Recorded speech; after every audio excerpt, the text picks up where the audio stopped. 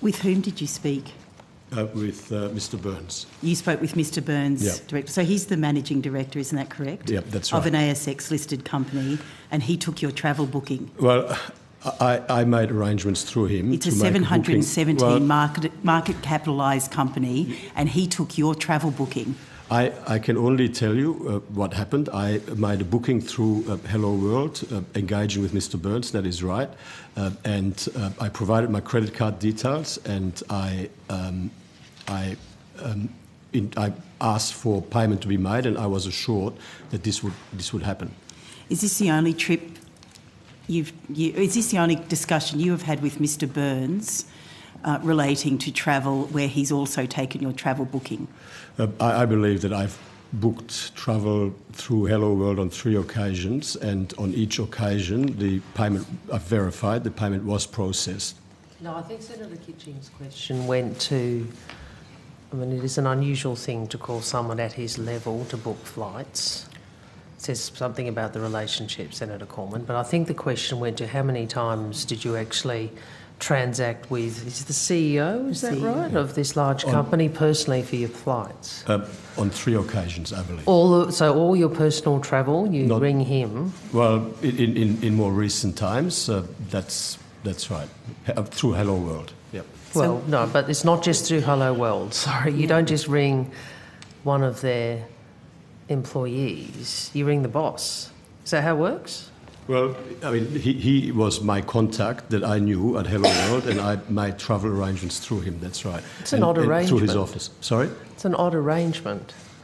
Well, that's So how did it work? Did you say, look, I've got the following dates available for travel, um, or my family does, and he went through and found the flights for you, and this is all on the phone, or no, like how did how did this conversation work? The, the, the, way, the way it would work is that I would uh, ask for uh, travel bookings to be made and for my for me to be invoiced and charged and and I mean I, you know his off, obviously I don't under, I don't know what the arrangements are within his office. So I'm wondering about the circumstances that see you phoning the CEO of an organisation. The, the circumstance is that I organised the travel and uh, I booked travel and I paid for it. How did how do you know Mr Burnes? Oh, well, I've known him over the years, obviously. I mean, it's a matter of public record that he uh, has been involved in the Liberal Party for some time.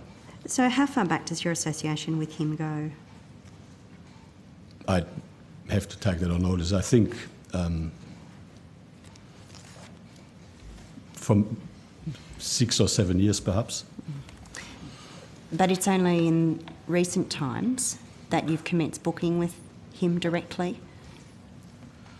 Um, well, the three trips would have been in the last three or so years, yes.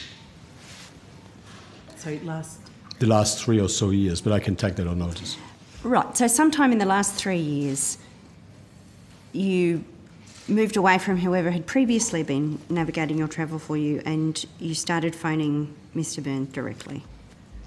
I made travel bookings through Helloworld, that's right. yeah. Okay, and again, I ask you, who initiated this arrangement where the CEO would be available to you personally to take your call in relation to your family holiday bookings? Well, t- to be fair, I mean, in more recent times, I had more interaction with him in the context, obviously, of um, his involvement with the Liberal Party, and uh, that is where the um, occasion arose where I was able to make those bookings. And did he offer to you, or did you ask him to establish such an arrangement? Well, I, made, I, I take responsibilities for having made the bookings, if that is the question.